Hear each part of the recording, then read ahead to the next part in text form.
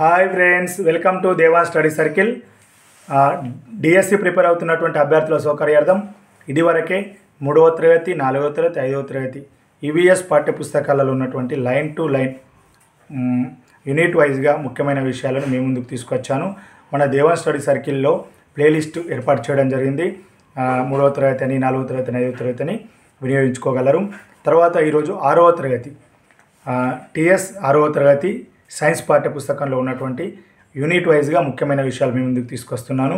మొత్తం పదహారు యూనిట్లు ఉండడం జరిగింది. మొదటగా ఒకటో యూనిట్ మన ఆహారం ఈ యొక్క వీడియోలో ఒకటో యూనిట్ మన ఆహారం గురించి అందులో ఉన్నటువంటి ముఖ్యమైన విషయాలు మీ ముందుకు తీసుకొస్తున్నాను. ఒకటి మన ఆహారం అరటి పండులో మన శరీరానికి పనికి వచ్చే పొటాషియం అనే పదార్థం ఉంటుంది. అరటి పండులో. అరటి పండులో మన శరీరానికి పనికి వచ్చే పొటాషియం అనే పదార్థం ఉంటుంది.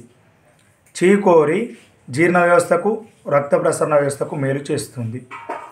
బీట్రూట్లో పిండి పదార్థాలు ఎక్కువ పరిమాణంలో ఉంటాయి. బఠానీలలో మాంసకృత్తులు సమృద్ధిగా ఉంటాయి. అయితే కొందరిలో ఇవి అలర్జీ కలిగిస్తాయి. కొందరికి జీర్ణం కావు. ఉల్లిపాయలలో ఉండే యాంటీ యాక్సిడెంట్లు మనలను రోగాల బారి నుండి కాపాడే పదార్థాలు. వీరికి వీటికి anti allergic anti viral anti histaminic గుణాలు ఉన్నాయి.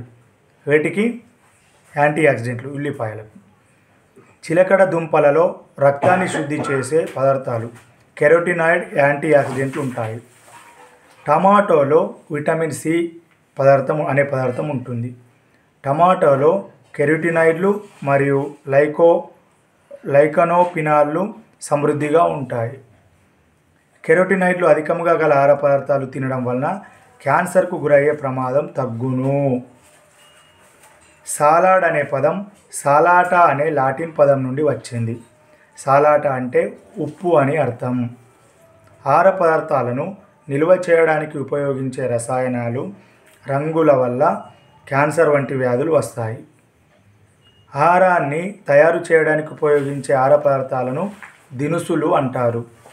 యాలకులు లవంగాలు దాల్చిన చెక్క బిర్యానీ ఆకులు నల్ల మిరియాలు మొదలైనవి వాటిని సుగంధ ద్రవ్యాలు అంటారు.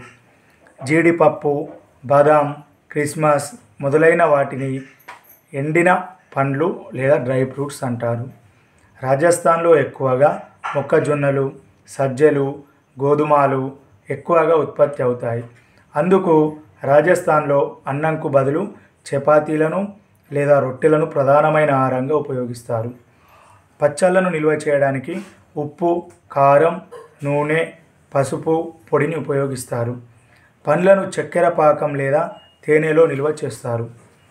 పండ్లను జామ్ లేదా పండ్ల రసాలుగా మార్చి నిల్వ చేస్తారు.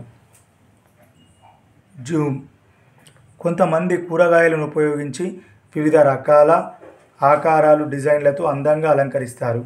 దీనినే వెజిటేబుల్ కార్వింగ్ అంటారు.